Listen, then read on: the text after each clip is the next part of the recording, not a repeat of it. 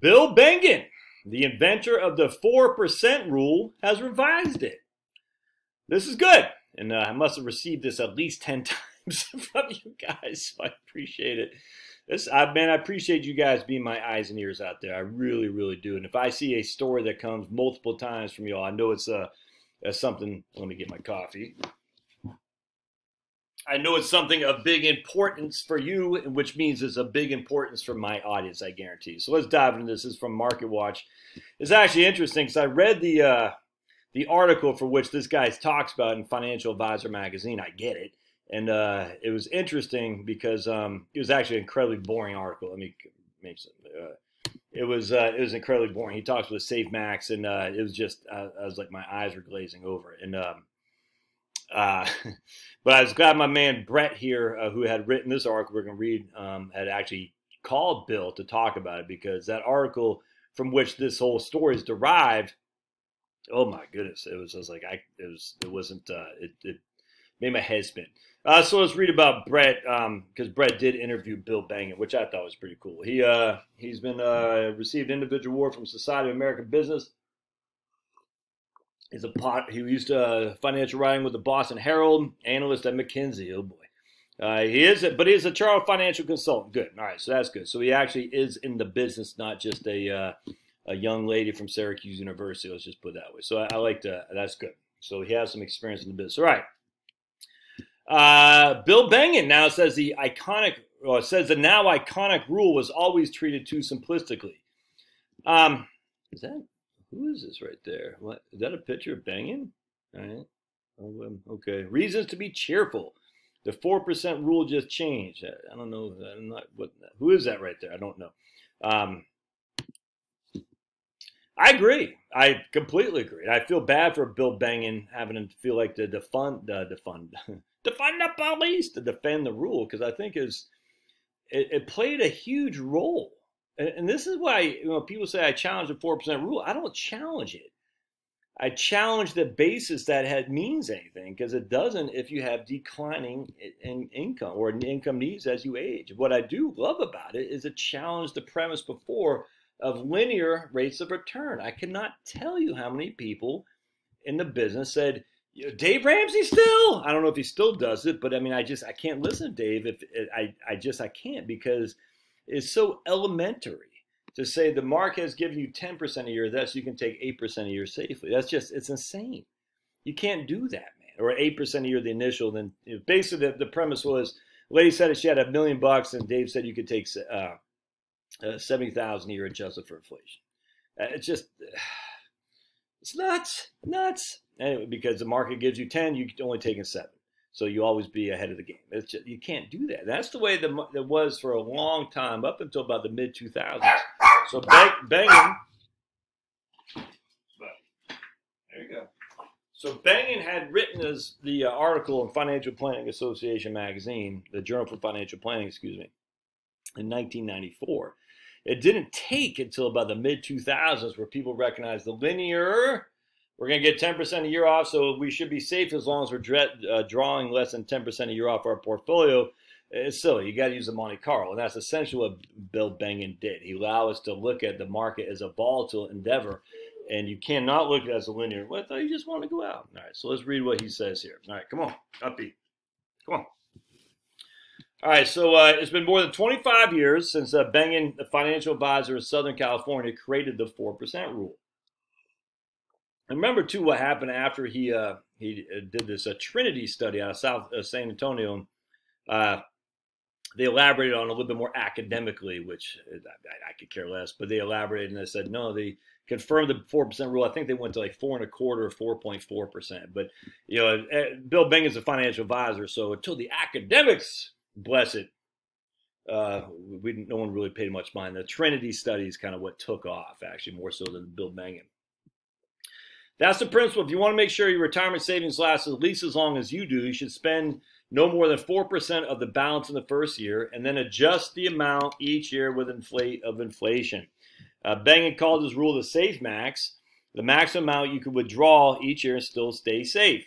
Since his article appeared in the JFP, the Journal for Financial Planning, the 4% rule has suffered the fate usually reserved for religious doctrines. Alternatively, alternately cited as revealed truth, such as here, Fidelity, here, Schwab, or denounces hearsay. I read that, it didn't really denounce as hearsay. Uh, into various forms of reformation, such as here and then here, um, but still has persisted and spread as pretty useful rule of thumb. In fact, I talked about this in my book, 4% rule. So, all right, so Mr. Smith says, hey, how much can I pull from my year, portfolio each and every year and never worry about running out of money? 4%. Okay, simple. If you want to make sure you don't outlive your savings, goes Modern Financial advice. Uh, budget on withdrawing no more than 4% of your portfolio in your first years and then only adjust upward in line with inflation.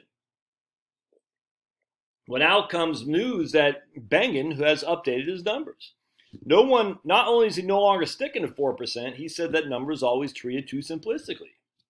He said it was historically just the worst case scenario. Exactly. That is based on someone who retired at the worst moment he could find in modern times, October 1968, just as the stock market peaked and runaway inflation was beginning. Someone who retired at that moment had to endure a bear market for stocks that would last 14 years, from 68 to 1982. And skyrocketing inflation crushed the purchasing power of their savings and fed their bonds into a shredder. Hmm, it's almost like someone had written a book about this called Retire with the Wellington Fund. Someone retiring then would have been okay for 30 years if they withdrew no more than 4%. But he has, at other points in history, when inflation was low and stocks and bonds were cheap, a new retiree could have withdrawn much more and done okay. Historically, he says the average safe withdrawal rate has turned out to be about 7%, and at points has reached as high as 13%. Of course, retirees who are at that fortune, who are that fortunate, would not have known that until later. Exactly. His calculations, incidentally, are all based on a conservative retirement portfolio where you keep 30% of your money in the S&P 500, 20% in small cap stocks, and 50% in intermediate U.S. government bonds. Uh, over a decade ago, his calculations were adapted by Michael Kitces to take account of the level of the stock market. Kitces used data from uh, Robert Shiller to work out when the stock market was cheap and retirees could bank on good future returns. And when it was expensive, and retirees needed a budget for meager gains. The cheaper the market, the better your expected future returns. The more you can withdraw, said Kitces. Bengen said, yeah, right here, this month of Financial Advisor magazine, Kitces' calculation is the single most important chart ever devised pertaining to sustainable withdrawals. I, I don't agree with that at all. I, I don't agree with that all because we're relying on the Shiller stuff. And the Shiller stuff says the stocks are expensive but uh, are they expensive relative to bonds? No, they're not. They're expensive relative to historical PE ratios, but relative to bonds are not. Bengen says that based on current, I, I actually I, I don't. I, this is where I wish my man uh, Ty Bernicke uh, would get more street cred. That guy, Bengen in the '90s, changed the thing from linear rates of return into more volatility with standard deviations uh, in the 2000s was the beginning beginning of the showing that the inflate that you don't need to spend adjust with inflation each every year upwards because people just don't do that. There was a couple professors before Bernicke who decided who did, ran the same stuff in the early late 90s. I forgot their names. Bernicke's the one who, uh, uh, at least for my area, put it in the modern era of financial planning knowledge because he had written in the Journal for Financial Planning back in 2004, I think that changed everything. Now that the professors had written in 1998, 1999, I think that was what kind of captivated Bernicke. But at least for me, I never heard about that. That you spend less as you age until Bernicke, and then it, it just it was like for me, it was a freaking light bulb going off. I said, "Let me look into this," and I said, "Man, he's right. He's right." And it, forever now we've changed. So instead of having the safe max of four percent or linear rates of return, um, so instead of getting away from linear rates of return to a a four percent rule with you know the safe max using volatile markets. Uh, that was from 1980, 1990, 2000 with Bernicke, where he said, "Look, people's spending actually goes down as you age, and that is now the uh, the gold standard in, in, financial planning to assume that your spending does not go up as you age, but it goes down." Now, everyone in their mind throws in, "But what about health care? We're not talking." Um, long-term care. Well, again, that those days are behind, getting behind us now because of uh, work uh, done by EBRI, Employee Benefits Research Institute. Uh, I'm drawing a blank the dude's name, but uh, yeah, I'm connected to on LinkedIn too. But anyway, and I've written about that in my book, uh, Social Security, right here. So now we're seeing that the vast majority of us don't spend significant amounts on long-term care, if anything at all. Um, all right, so let's keep going. So what's the rule now? Bengen says the current withdrawal, uh, based on the current environment, he thinks new retirees should be saved with a starting amount of 5%. That's what I use myself, says Bengen. Okay, so it's not as earth-shattering change from 4%. It's even less of a change from the updated 4.5, but the new rule is now 5 if you like. That puts Bengen at odds with those things whose number should be less than 4 because of today's record stock and bond prices. The average is 7. 4.5% is pretty grim. 4.5% is the worst case scenario. He agrees that stocks and bonds all look expensive by historical standards.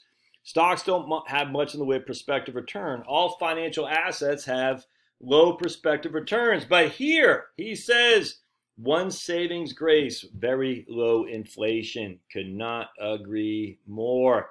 It was inflation more than the bear markets and stocks and bonds that really crushed retirees in the 70s. Huh. Huh. Who said that? This guy. This guy. Inflation is worse for retirees than bear markets because bear markets eventually end and stocks and bonds recover. Higher prices, once they arrive, never go back to where they were. When you get inflation, it's locked in. You're stuck with higher prices for 30 years. I could not agree. Man, Bill, right?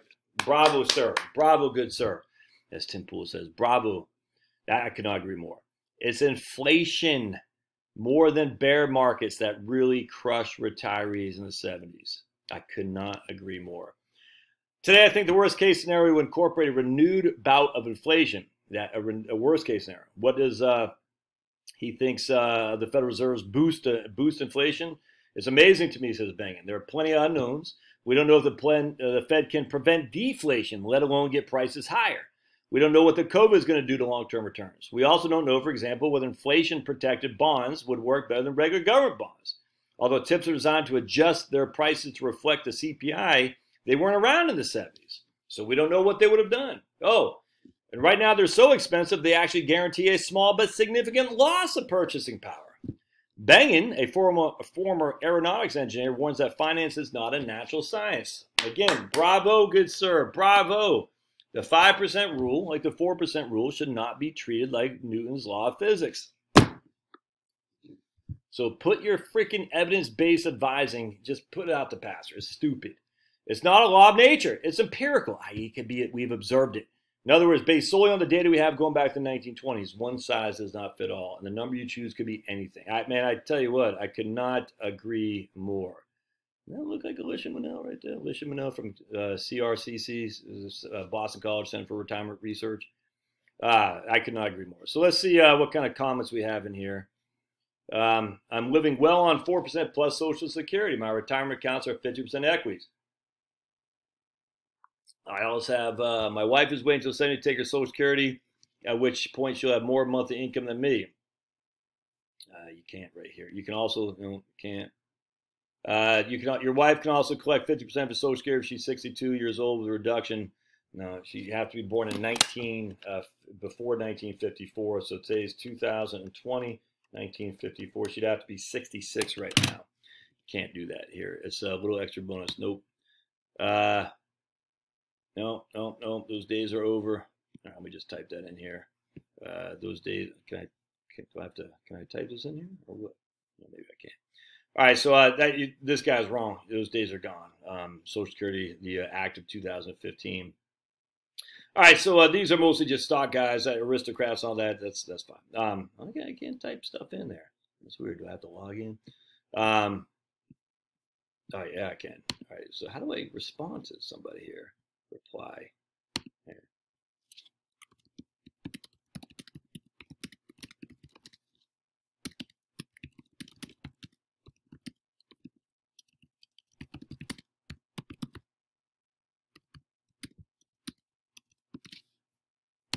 All right, so anyway, there you go. Um, hope this helps. Good article, guys. And uh, I'm, hey, man, kudos to Bill Bengen. Good guy again, I always bash the 4% rule. I don't bash Bill Bengen at all. I just bash the rule because everyone thinks it's so sacrosanct. And Bill says it's not science, it's not the law of gravity. I, I just, all right, good stuff. Thanks for sending this to me. Again, if you see articles like this you want me to read, man, by all means, send them.